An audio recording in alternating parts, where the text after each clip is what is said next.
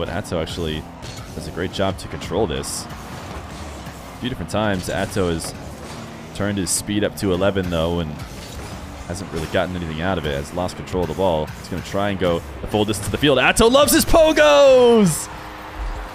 Khaled gives him a nice one because Atow bounces this ball right inside the near post. Khaled not expecting that quick of a shot. 111 kilometer per hour shot. All Khaled can do is throw